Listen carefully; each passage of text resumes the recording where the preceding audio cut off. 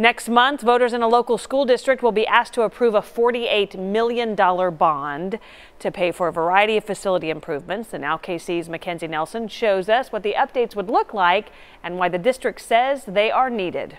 This has been my classroom for almost 20 years. Kara Campbell is a kindergarten teacher at Center Elementary School. Her classroom sits right next to the front entrance. Without a secure entrance or a buffer, there's nothing stopping anyone from coming to our door. The school setup is different than most.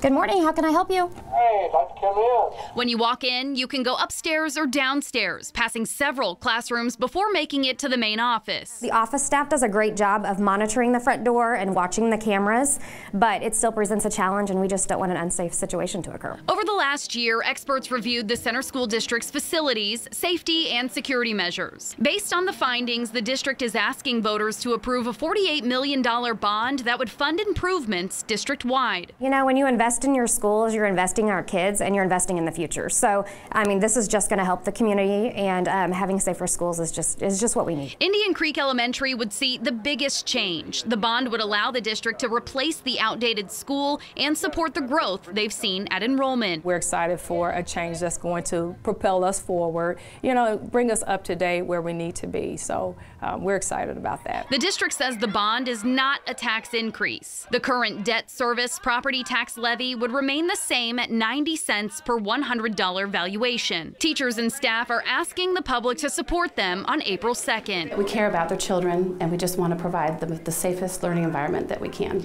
In order for the bond issue to pass, 57% of voters must vote yes. In Kansas City, McKenzie Nelson for the Now KC.